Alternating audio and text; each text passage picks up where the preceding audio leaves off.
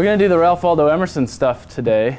I assume still most of you have heard of Ralph Waldo Emerson from inspirational posters, bumper stickers, greeting cards, refrigerator magnets, sort of anything that's this long and doesn't, you know, sort of doesn't do too much to um, shake the way you're living. But I want today to kind of try to put the fangs or the claws back on Emerson, so I'm going to try to um, kind of re-weird him for you, if possible.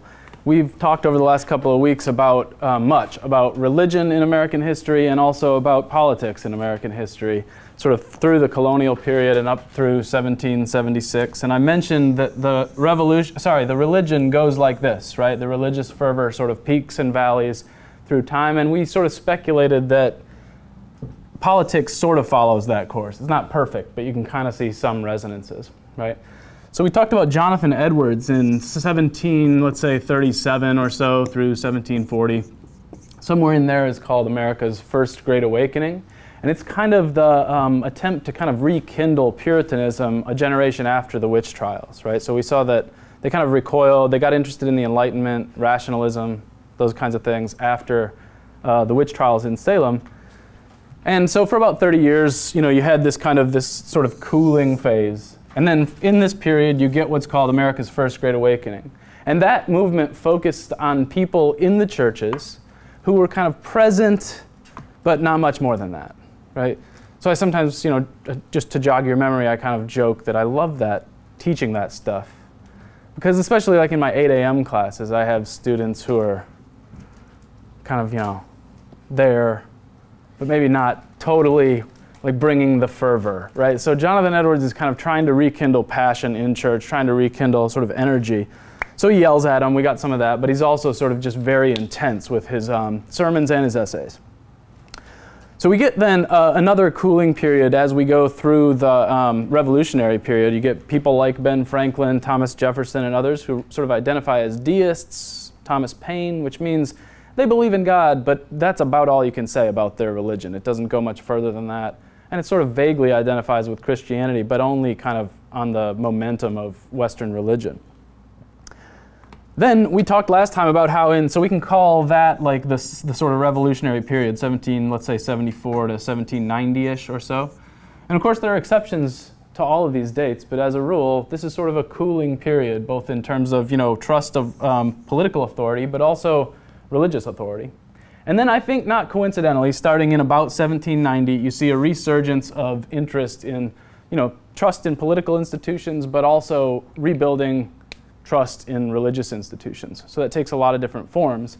But it's right when Emerson is born. This is kind of the environment he's born into, about 1803. His father was a Unitarian minister, which uh, I'll say more about in a minute. Unitarianism is sort of different today than it might have been 200 years ago, but it's still represented, it always represented kind of the liberal wing of the Christian church. And uh, so we get right around this time what's called the Second Great Awakening, and I'll put very loose dates on it, something like 1790 to, you might even go all the way through 1844. And so in the middle of those years is where Emerson shows up and sort of contributes, right? And what happens there is I think he's going to define religion or redefine religion in such a manner that after Emerson, that is for us after spring break, you, you can't not deal with like either you're reacting with Emerson or you're reacting against him, but you can't really not deal with Emerson for a solid generation, and some would say for 100 years or even into the present, if you want to do sort of serious public intellectual work or think about American religion. So those are the dates. You get in that period um, Emerson's Nature, the essay that you read for today, which is 1836. And I will also mention things like uh, Mormonism, which kickstarts around 1832, Seventh day Adventism, which kicks off in, I think, 1844 or so. So you get kind of a spawning of all sorts of you know, different religious um, traditions. And the other thing I want to note about this second Great Awakening is that, unlike the first, it didn't focus on church members, people who were in church but not sort of doing it right. Instead, it focused on the unchurched masses in you know, the great frontier, sort of out west, places like southern Ohio, Kentucky, Tennessee, people who had kind of gone to grab a little land out there, start a farm, but there were no churches out there. And it had been a generation or two since you know, they had been in, involved in Western Christianity. And so this movement, movement was kind of like a you know, traveling sales show for Christianity. They would bring a stage, set it up. In some cases, these outdoor meetings brought thousands of people, as many as 10,000 people would sort of meet on, you know, picture this, I picture like a Jimmy Buffett concert or some outdoor, some, you know, on a hillside with a stage and people. I mean, there were no blockbuster movies, there was no Super Bowl. This was something to go to, and it worked. It started bringing people from sort of western New York on down through, like I said, Kentucky or whatever, to these meetings. So during this time, Baptists, Methodists, and other sects made really severe, serious gains in the time in terms of church membership. And as I said, there are these sort of new, these new sects or new um, varieties of religion in American history. So let's see, although, as I said, that movement was sort of its hottest in places like Kentucky and Ohio, it certainly trickled back to places like New England or Boston very quickly so that people at Harvard Divinity School, for, for example, knew exactly what was going on. I think I should also mention, like, uh, just to give you a sense of how severe this got, in about 1843, 1844, there was one particularly interesting sect of Baptists called Millerites who had done some, you know, calculation, reading the Bible where a year is worth a day, and etc. And they came out with the idea that, like, the, the second coming of Jesus is coming on, I'm going to get the date wrong, March 21st, 1844 and no later than that, right? So as that day approached, just to give you again a sense of how like how much a kind of pitch of fervor was going on in American history, people started selling their stuff, again, quitting their jobs, acting like children, because it's only as little children that you get into the kingdom of heaven or whatever. Well, guess what? It didn't, it didn't end, right? 1844 wasn't the last day in history. But, you know, that gives you a sense of, and I think that's probably part of the reason you know, after that, maybe comparable to the witch trials, people started to go, well, okay, maybe we got a little carried away with the predictions of the sort of imminent return or whatever. But that is some of the um, religious background or the religious context. And of course, picture Ralph, little Ralph, 1803, sort of in the middle of all that, right? With his dad as a minister, he gets to um, Harvard College by the time he's, uh, I think, 14 years old um, and was raised, I guess that means, like most of you, probably in a Protestant Christian church.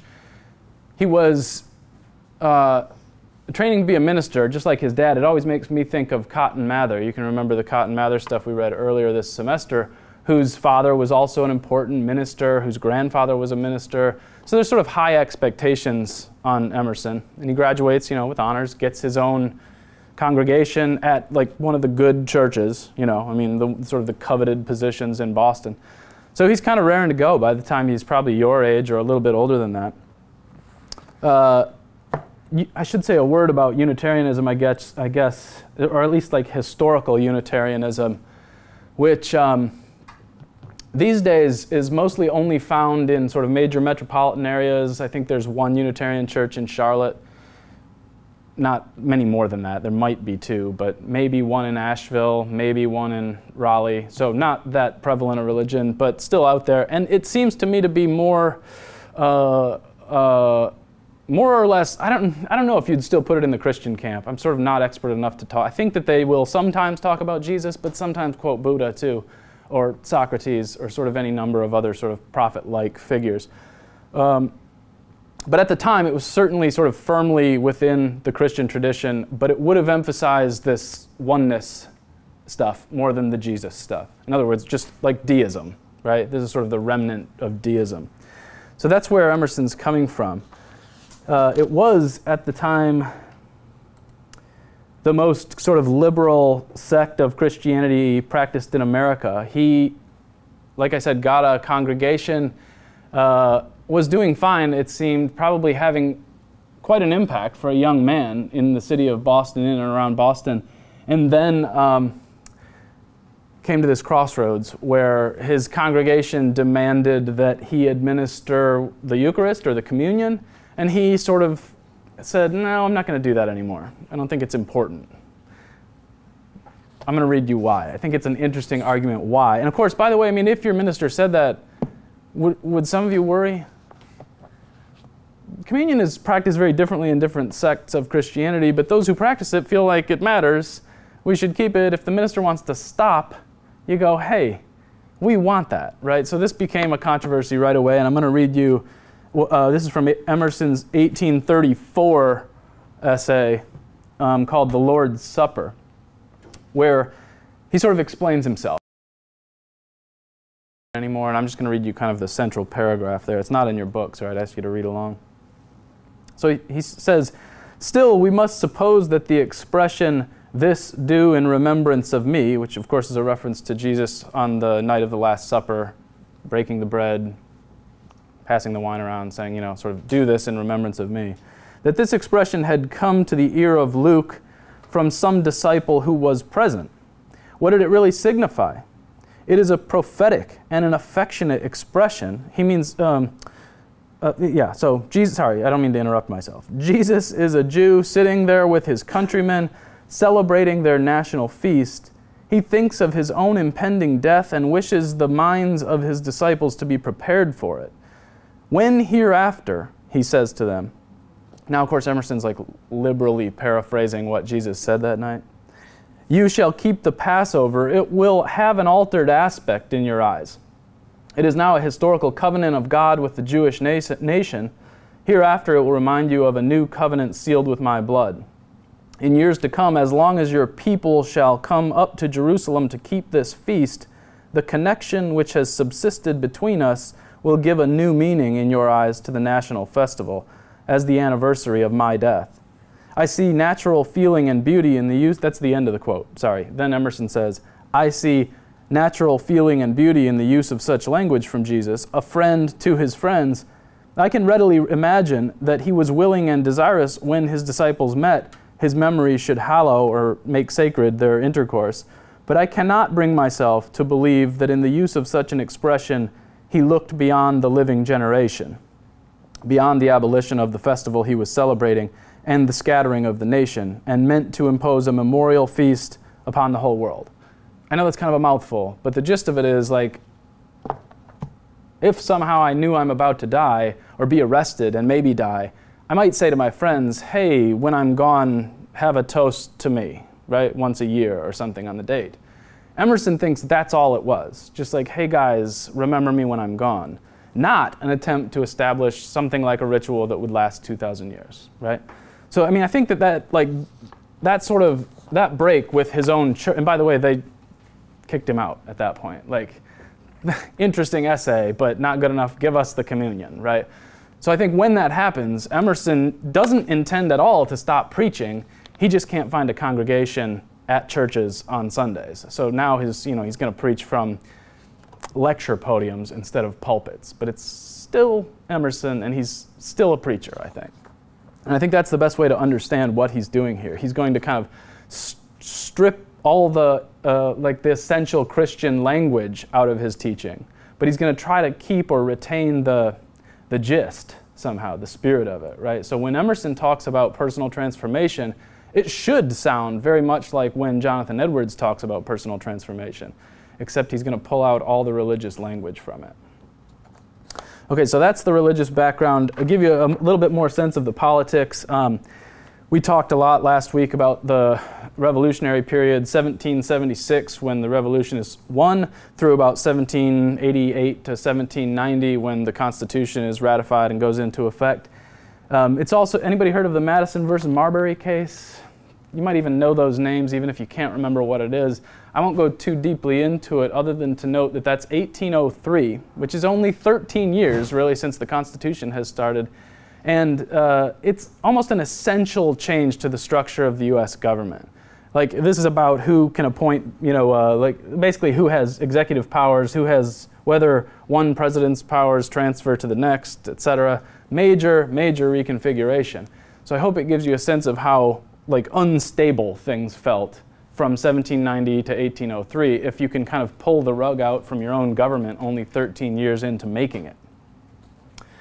Uh, and then 1812 to 1815, when Emerson's, you know, just knee high or so, uh, America was fighting with Britain again, mostly this time because Britain was conscripting or forcing American soldiers into the British Army essentially in their war against France, which you can imagine would make the American people and the president upset. And so uh, they fight off the British again, and this time declare, kind of in response, the Monroe Doctrine, which states that U.S. powers won't intervene in European affairs and, and should be vice versa, right? So we're going to be kind of a hands off place.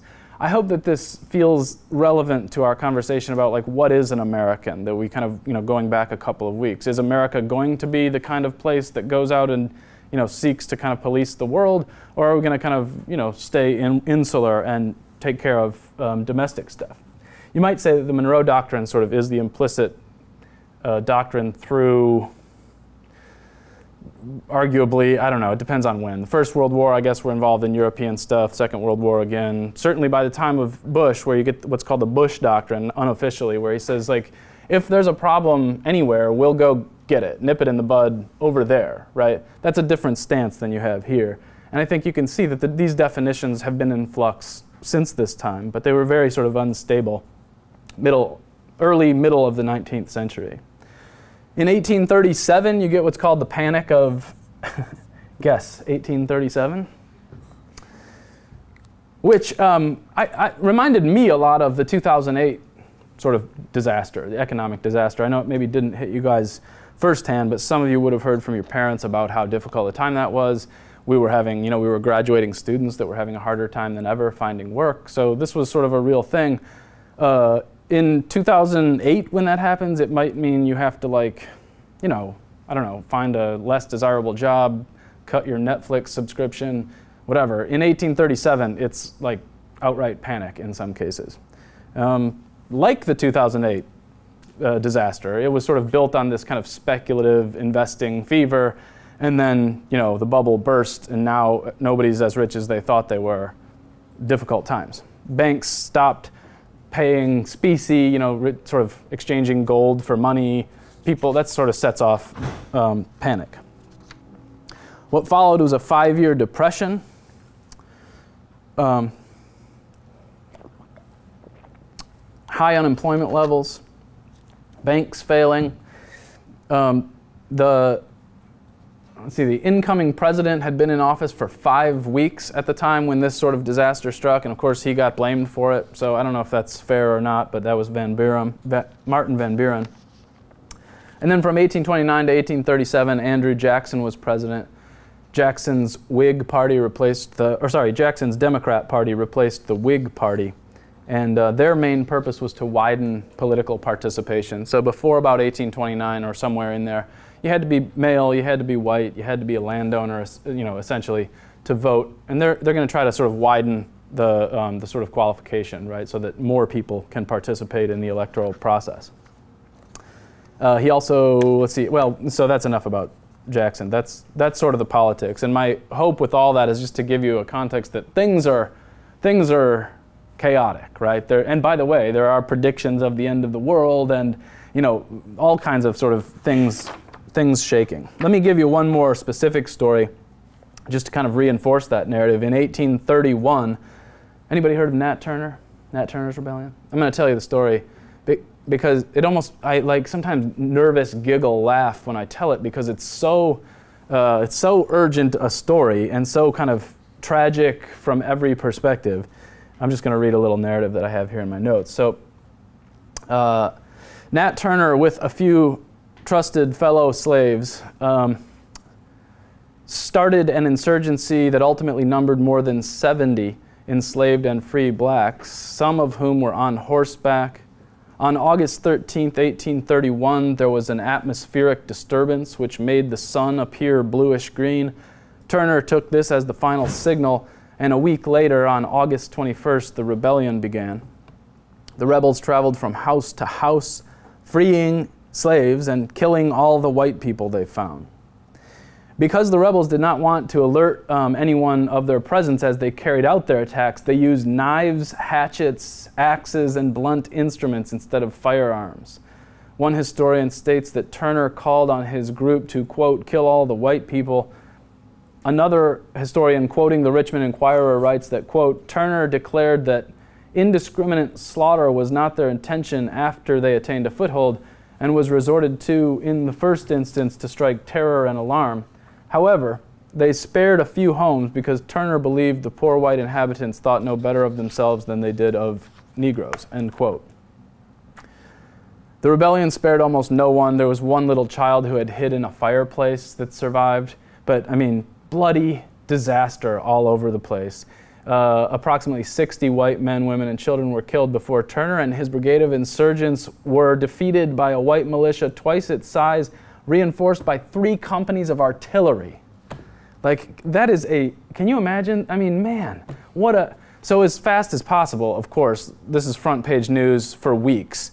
And so this just, I sort of give you this story so that you get a sense that, like, when people say, ah, everything's crazy these days, so that you understand that, like, it's been that crazy at other times in the past, right? This was, must have sort of freaked people out. And before 1831, by the way, it was almost possible as an American, especially if you lived in the North, to kind of not have an opinion about slavery, to kind of feel like, ah, minding my own business or something. After 1831, no way. Everybody has to take a corner, right? You have to have an opinion about it and you have to kind of know what you're talking about. And sort of, I think that really kind of kickstarts the movement that turns into abolitionism. So that's that. Into all that uh, chaos, Emerson shows up, and I think that probably the um, optimal response to Emersonianism is, you know, some of you will have Walt Whitman, Henry David Thoreau, Margaret Fuller. Whitman, you know, great poet. Thoreau moves out to the woods in some weird hippie experiment. Margaret Fuller starts like kind of an awesome book club in Boston. So this is like he really is sort of the you know the fountainhead of a lot of intellectual stuff in America at the time. But I want to note, just to keep the weird factor up high on Emerson, there were also sort of disaster disciples. In other words, people who maybe, I don't know, took it too seriously or got, I don't know what exactly is happening here. Or maybe, more interestingly, caught some kind of a vision, right? Like, remember when Jonathan Edwards talked about getting saved? He talked about a change in perception, right? A change in like how you experience the world or how you see the world. I think in the case of Jones Very, we have something like that. I'm going to read this to you because I think it's so interesting. This is quoted from Bronson Alcott, who was himself a kind of um, Boston uh, intellectual of the day. So in 1838, one of Emerson's students, who was about, I think, 23, 24 at the time, and had been working under Emerson at Harvard, sort of teaching Greek to undergraduates. So he might be 24, but he's teaching, you know, 18 to 20 year olds teaching Greek. Uh, he something happened in 1838 where he went to these Emerson lectures, read Nature closely, heard Emerson's essay on self-reliance, and got really into it, and maybe even too into it. Uh, for instance, apparently, rumor has it, one day showed up to teach his class uh, declaring himself to be the second coming of Christ. The end times were at hand. Run for the mountains. This is it, right? What do we do with those people? We will put them away, right? And we did. He went to a mental institution for a month or so. But I think it's interesting to note that after that, he actually did just kind of recover and melt back into regular society. He was a apparently mediocre regular teacher for the rest of his days wrote some average poetry. I don't mean to trash him, but it's, it's not that great. Bronson Alcott says this of that sort of weird incident. He says, I received a letter on Monday of this week from Jones Very of Salem, formerly tutor in Greek at Harvard College, which institution he left a few weeks since, being deemed insane by the faculty. A few weeks ago, he visited me. He is a remarkable man his influence at Cambridge on the best young men was very fine. His talents are of a high order. Is he insane? If so, there yet linger glimpses of wisdom in his memory. He is insane with God, diswitted in the contemplation of the holiness of divinity. He distrusts intellect. Living, not thinking, he regards as the worship meet for the soul. This is mysticism in its highest form that's weird, right? Is that weird? I hope that sounds weird to you. That's Emerson's effect too. So you have, on the one hand, people like Thoreau and Whitman who we kind of congratulate for doing something interesting as a result. But we also have Jones Very who reads Emerson and goes kind of haywire, it seems, right? So keep that in your mind because, I, like I said, I'm trying to kind of reclaim the strangeness of Emerson. So Emerson's credited in America with kind of kickstarting the transcendentalist movement. That's what we're going to call this for the rest of the semester. Um, they always are careful about their language. They use words like the universal oversoul, and sometimes they'll capitalize the U and the O. You know, uh, the, the, you know, the, the great creator deity with capital G, whatever, yeah.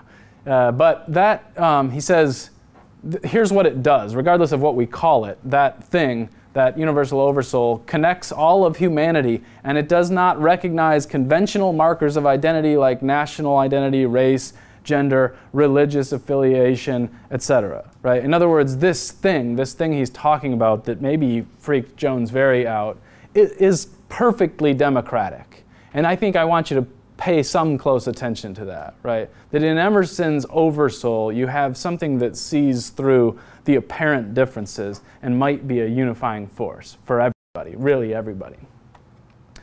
So, what does it do?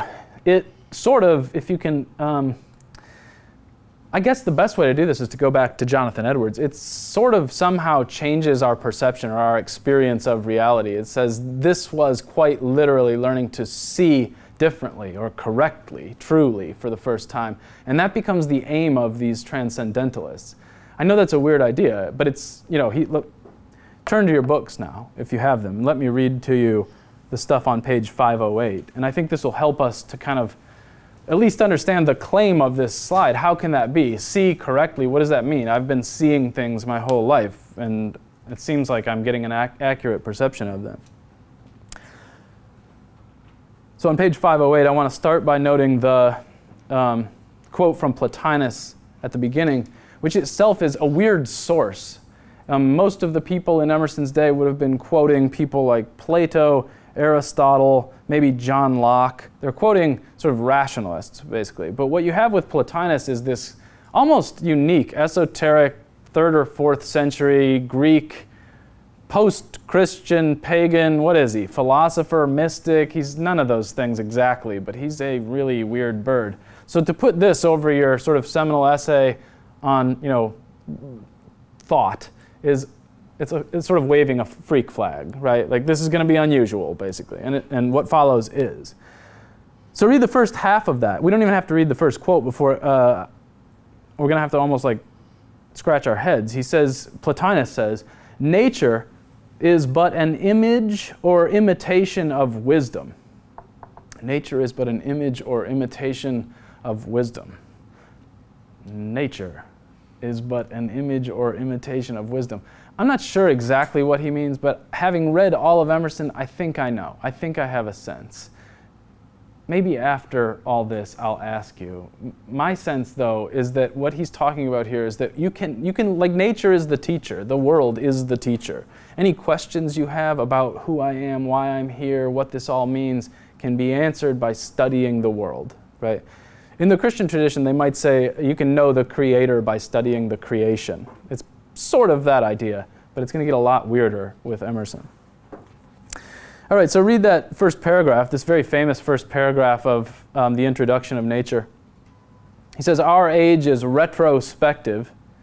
It builds the sepulchres of the father, the, the sepulchres of the fathers. Sepulchres are tombs, you know, burial places. And uh, what is retrospective? Like literally kind of backwards looking, right? So we live in a time that's backwards looking. We worry about building monuments to dead people. Keep reading. It writes biographies, histories, and criticism. The foregoing generations beheld God and nature face to face, we through their eyes. I'll pause there to draw my favorite cartoon of the semester, which is, you know, basically in the old days, Emerson says, God and people had this kind of a relationship, right? Where it's just basically it's just direct. It's kind of um, think Joan of Arc or Moses or anybody who sort of has direct revelation. Even the disciples of Jesus have a kind of direct intercourse or you know sort of uh, uh, interaction with divinity in that way, right? But Emerson says we're like this. We're like back here playing a game of telephone, kind of obviously with a more neutral or somber aspect on our faces, and we only get secondhand relayed information. It goes through many generations sometimes, right? So you might feel, if you don't feel like you've had the same kind of prophetic experience of Moses or the prophets or something like that, that you know what you know about God comes like this, secondhand. Emerson's had it with that, and what he wants is this. He wants it to be direct or not at all. So that's what we're going for. That's kind of the goal. I want to know God now, today, and not filtered through all the ritual. At the end of that paragraph, he says, The sun shines today also there is more wool and flax in the fields. There are new lands, new men, new thoughts. Let us demand our own works and laws and worship. Then he gets optimistic, characteristically optimistic, for at least for early Emerson. He says, Undoubtedly, we have no questions to ask which are unanswerable. We must trust the perfection of the creation so far as to believe that whatever curiosity the order of things has awakened in our minds the order of things can satisfy. Every man's condition is a solution in hieroglyphic to those inquiries he would put. He acts it as life before he apprehends it as truth. Hieroglyphics, we can start with that. What's hieroglyphics? Egyptian pictographs, right? And some of you might have heard of the Rosetta Stone, if only because of the recent commercial, the whatever that is, the language acquisition thing, right? It's this tablet that was recovered in, I think, 1799 somewhere that had, it's got this sort of funny broken shape to it where it, it's broken into three sections where I think it has Greek, something else, and some Egyptian hieroglyphs on it. And it took, uh, it took the scholars something like a whole generation to kind of crack the code, even having that. But I think by about 1822, they released the first kind of first draft of a translation of the Rosetta Stone. And then over the next 10 years or so, leading up to when Emerson's talking, like this is a reference that everybody knows. We're, because previously you had gone, you know, people had gone to the pyramids or gone into the crypts and they had seen this stuff, and clearly it's something, right? It's too, it's too intricate and too ornate to just be like decoration. They could tell there were repeating patterns, they just couldn't get their hooks into it anywhere starting with Rosetta Stone, they start to be able to decode it. Okay? So for Emerson to call nature that is a really interesting, sort of both historical but also philosophical way of thinking about what the world is. The world is a hieroglyph. You might not have known that before today, but congratulations, I'm telling you, now the learning process can start, right? What Emerson's going to say is that all you have to do now is learn to read it, learn to decode it, right? You've sure you've seen trees and grass and so on before, but you didn't, you didn't even know you were supposed to read them. You didn't realize they were symbols for something higher, right? And this is the real teacher, Emerson's going to suggest, that the world is out there to sort of tell us what's real, what's true. Keep reading there. He says, In like manner, nature is already, in its form and tendencies, describing its own design. Let us interrogate the great apparition, the great ghost, that shines so peacefully around us. Let us inquire to what end is nature? What a weird question.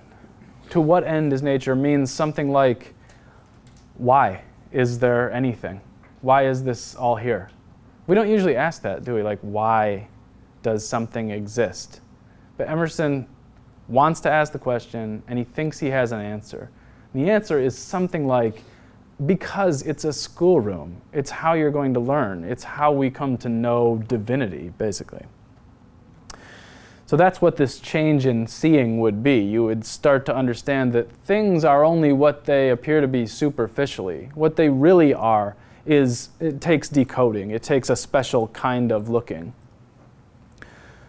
As I said, we can process this by thinking back through Emerson's church history a little bit, even thinking back to Jonathan Edwards. In Christianity, the sort of end game or the whole point of it is to get saved, right? It's salvation. It's that, to get with it. Um, and it requires, say some theologians, something like an inward change or a rebirth or being born again, etc. And I think that Emerson has Like, no lower expectation than that. This has to be that dramatic of a process, or else you're not getting the real thing. But he's not going to call, he's sort of dispensing with the religious terminology. But I think he's keeping this idea of like a, a sacred moment of inner or um, spiritual change.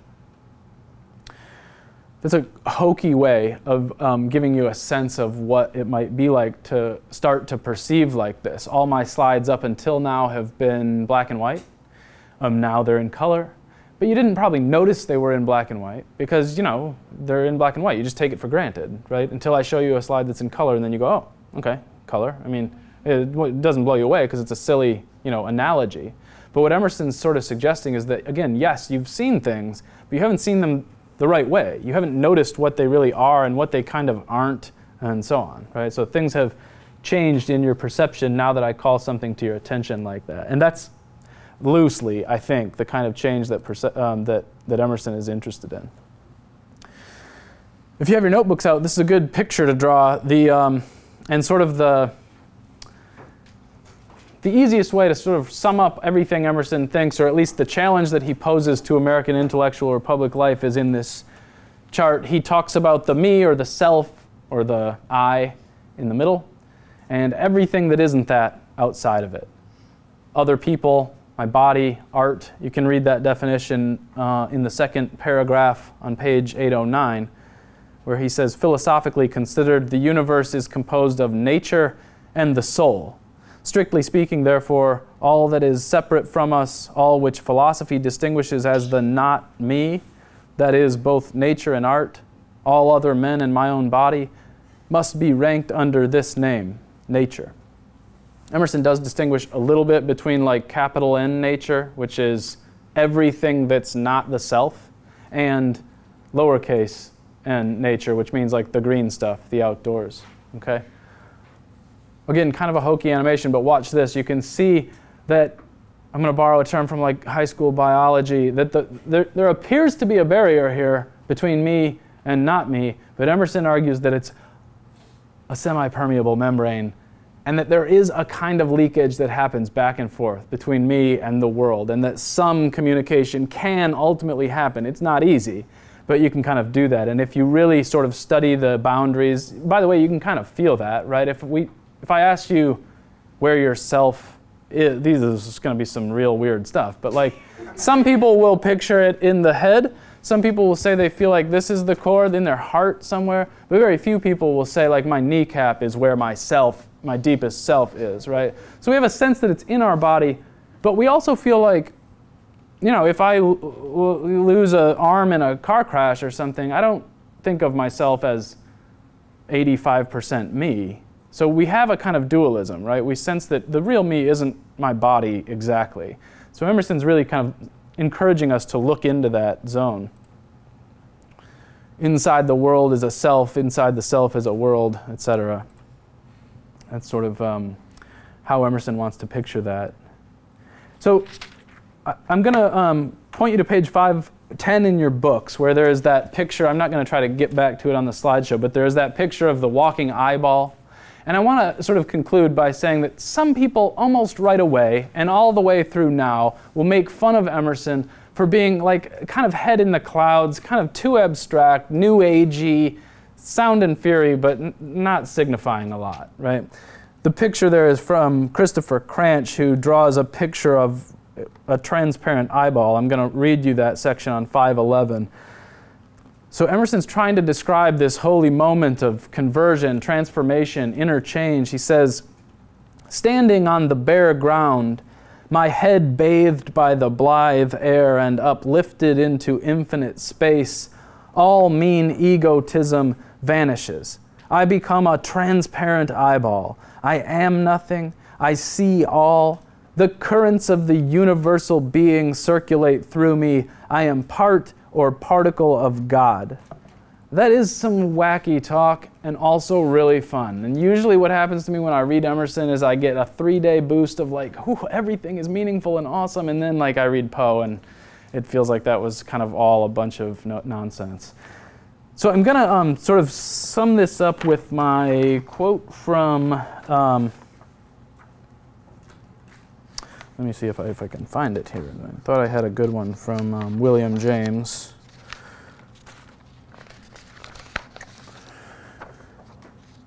Who, um, William James, about a generation after Emerson, sort of 15 or 20 years after Emerson died, um, doing a study of American public religious life, goes back to Emerson as the moment where this kind of schism in American public thought started, where on the one hand you have kind of traditionalists who want to honor ritual, stick to it, you know, do it the old-fashioned way, and on the other hand you have people who kind of feel that they can dispense with orthodoxy, doctrine, ritual, etc. And obviously those are sort of the Emersonians. Here it is, the one little paragraph. He says, ritual worship in general appears to the modern transcendentalist, as well as to the ultra puritanic type of mind, as if addressed to a deity of an almost absurdly childish character, taking delight in toy shop furniture, tapers and tinsel, costume and mumbling and mummery, and finding his glory incomprehensibly enhanced thereby. Just as, on the other hand, the formless spaciousness of pantheism appears quite empty to ritualistic natures, and the gaunt theism of evangelical sects seems intolerably bald and chalky and bleak. Luther, Martin Luther, says Emerson, would have cut off his right hand rather than nail his theses to the door at Wittenberg if he had supposed that they were destined to lead to the pale negations of Boston Unitarianism. That's saying a lot, and I know it's sort of housed in this kind of you know Christian tradition stuff, but he's basically saying that Luther, er, Luther kickstarting the Protestant Reformation would have never done it if he thought that what it would end up leading to was Emerson. Emerson's aware of that and is still doing Emerson. And I got to give him some credit, at least for courage, right? That he goes through with it. He's had a major influence ever since. I think even up to now, most public intellectuals in America will sort of go through an Emerson phase or else rebel and reject it.